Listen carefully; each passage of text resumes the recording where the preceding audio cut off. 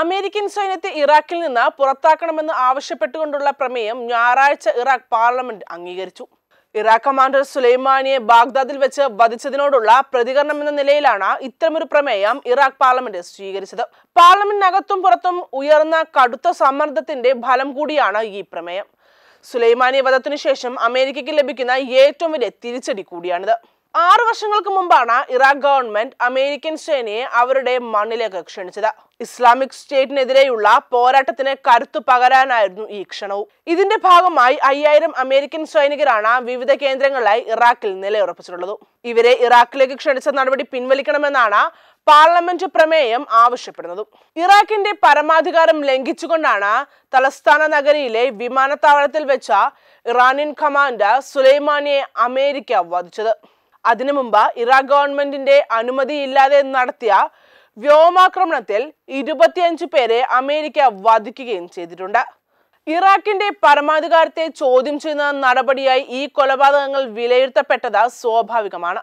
പാർലമെന്റിന്റെ പ്രത്യേക സമ്മേളനത്തിൽ അമേരിക്കക്കെതിരെയുള്ള ഇറാഖി എം പിമാരുടെ പ്രതിഷേധവും ശക്തമായിരുന്നു. അമേരിക്കയെ പുറത്താക്കൂ എന്ന മുദ്രാവാക്യമാണ് അവിടെ ഉയർന്നു കേട്ടത്. എന്നാൽ സുന്നി കുർദ് എംപിമാർക്ക് അമേരിക്കൻ സൈന്യം തുടരുന്നതിനോട് എതിർപ്പുണ്ടായിരുന്നില്ല. അമേരിക്കൻ സൈന്യത്തെ പുറത്താക്കിയാൽ ഉണ്ടാകുന്ന സാമ്പത്തിക ഉപരോധവും ഐ എസിന്റെ തിരിച്ചരവുമാണ് സുന്നികളെയും കുർദുകളെയും സ്വാധീനിക്കുന്നത്. എന്നാൽ പാർലമെന്റിൽ പ്രമേയം പാസാക്കിയത് കൊണ്ട് മാത്രം അമേരിക്കൻ സൈന്യത്തെ പുറത്താക്കാനുമാകില്ല പാർലമെന്റ് പ്രമേയം അംഗീകരിക്കാനുള്ള ഒരു ബാധ്യതയും ഇറാഖിലെ എക്സിക്യൂട്ടീവിനില്ല. അതേസമയം ഇടക്കാല പ്രധാനമന്ത്രി അദേൽ അബ്ദുൽ മഹിദിനെതിരെ പ്രമേയത്തെ പിന്തുണച്ച സ്ഥിതിക്ക് അതിനുള്ള നീക്കം ഉടൻ ഉണ്ടാകുമെന്നും പ്രതീക്ഷിക്കാം. സേനാ പിന്മാറ്റം തോൽവി സമ്മതിക്കുന്നതിന് സമാനമായി വിലയിരുത്തപ്പെടുമെന്നതിനാലായിരിക്കണം അമേരിക്കൻ സേന ഇറാൻ വിടുന്നതിനെ കുറിച്ച് തീരുമാനമായതെന്നും ഇത്തരമൊന്ന് കൈക്കൊണ്ടിട്ടില്ലെന്ന് മാർക്ക് എസ്പിയർ അറിയിച്ചു. സേനയെ പുറത്താക്കുന്ന പക്ഷം ഇറാഖിനെതിരെ ഉപരോധം ഏർപ്പെടുത്തണമെന്നും അമേരിക്കൻ പ്രസിഡന്റ് ഡൊണാൾഡ് ട്രംപ് ഭീഷണി മുഴക്കിക്കഴിഞ്ഞിരിക്കുകയാണ് എന്നാൽ ഇറാഖിൽ നിന്ന് സൈന്യത്തെ പിൻവലിക്കില്ലെന്ന സമീപനമാണ് അമേരിക്ക കൈക്കൊണ്ടിട്ടുള്ളത്. ഐ എസിനെതിരെയുള്ള സൈനിക സഖ്യത്തിന് നേതൃത്വം നൽകിയ brigadier general William Seely American സൈന്യം പിൻവാങ്ങുമെന്ന തുടക്കത്തിൽ സൂചന നൽകിയിരുന്നുവെങ്കിലും പ്രതിരോധ സെക്രട്ടറി മാർക്ക് എസ്പിയർ പിന്നീട് അത് തിരുത്തുകയായിരുന്നു. സേന പിന്മാറ്റം തോൽവി സമ്മതിക്കുന്നതിന് സമാനമായി വിലയിരുത്തപ്പെടുമെന്നതിനാലായിരിക്കണം അമേരിക്കൻ സേന ഇറാൻ വിടുന്നതിനെ കുറിച്ച് തീരുമാനമൊന്നും കൈക്കൊണ്ടിട്ടില്ലാത്തതെന്നും മാർക്കസ് പേർ അറിയിച്ചു.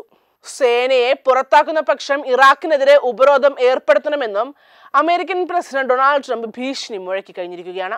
ഇറാഖിന്റെ പരമാധികാരത്തെ വെല്ലുവിളിക്കുന്ന നടപടിയായിരിക്കും ഇതെന്നുള്ളത് പകൽ പോലെ വ്യക്തവും. പ്രശ്നം വഷളാക്കാൻ ഇത് സഹായിക്കുന്നതാണ് വാസ്തവം. അമേരിക്ക സ്വമേധയാ സൈന്യത്തെ പിൻവലിക്കാത്ത പക്ഷം സൈനികമായ ഏറ്റുമുട്ടലിന് പോലും തയ്യാറെടുക്കുമെന്നാണ് ഷിയ നേതൃത്വം നൽകുന്ന സൂചന. അമേരിക്കൻ സൈനികരെ അവരുടെ കേന്ദ്രങ്ങളിൽ വളഞ്ഞു വെക്കുമെന്നാണ് അറിയിച്ചിട്ടുള്ളത്. അതായത് അമേരിക്കൻ സേന പിൻവാങ്ങാത്ത പക്ഷം ഇറാഖിൽ പുതിയ യുദ്ധമുഖം തുറക്കുമെന്നർത്ഥം സുലൈമാനെ വധിച്ചതിന് പ്രതികാരം ചെയ്യുമെന്ന് ഇറാനും വ്യക്തമാക്കിയിട്ടുണ്ട്. അമേരിക്കക്കെതിരെ ഇറാനും ഇറാഖും സംയുക്തമായി നീങ്ങാനുള്ള സാധ്യതയും തള്ളിക്കളയാൻ പറ്റില്ല. ഇറാഖിനെ കൂടെ നിർത്തി ഇറാനെ വേട്ടയാടുക എന്ന അമേരിക്കൻ നയതന്ത്രത്തിനാണ് ഇവിടെ തിരിച്ചടിയേൽക്കുന്നത്. ഭീകരവാദത്തിനെതിരെ പൊരുതുന്നതിൽ അമേരിക്കയോടൊപ്പം നിലയുറപ്പിച്ച രാജ്യമായിരുന്നു ഇറാഖ്. എന്നാൽ ആ രാജ്യത്തിന്റെ പിന്തുണയാണ് ഇപ്പോൾ അമേരിക്കയ്ക്ക് നഷ്ടമായിക്കൊണ്ടിരിക്കുന്നത്. അതിന് മറ്റാരെയും കുറ്റം പറയാൻ കാരണവുമില്ല. കാരണം പ്രസിഡന്റ് ട്രംപിന്റെ വീണ്ടും വിചാരം ഇല്ലാതെയുള്ള നടപടികളാണ് ഇതിന് വഴിവെച്ചിട്ടുള്ളത്. അതുകൊണ്ട് തന്നെ പശ്ചിമേഷ്യയിലെ സ്ഥിതിഗതികൾ കൂടുതൽ വഷളാകാതിരിക്കാൻ അമേരിക്കൻ സേന ഇറാഖിൽ നിന്ന് പിന്മാറുകയാണ് വേണ്ടത്. എന്നാൽ അമേരിക്കയിൽ നിന്ന് അത്തരമൊരു നടപടി പ്രതീക്ഷിക്കാനുമാകില്ല. അഫ്ഗാനിസ്ഥാനിൽ നിന്ന് സൈന്യത്തെ പിൻവലിക്കുമെന്ന് പറഞ്ഞ് അധികാരമേന്തിയ പ്രസിഡന്റ് ട്രംപ് രണ്ടാം ഊഴത്തിനായി മത്സരിക്കുമ്പോഴും സേനാ പിന്മാറ്റം യാഥാർത്ഥ്യമായിട്ടില്ല എന്നത് തന്നെ കാരണം. वेब डेस्क कर लेनोस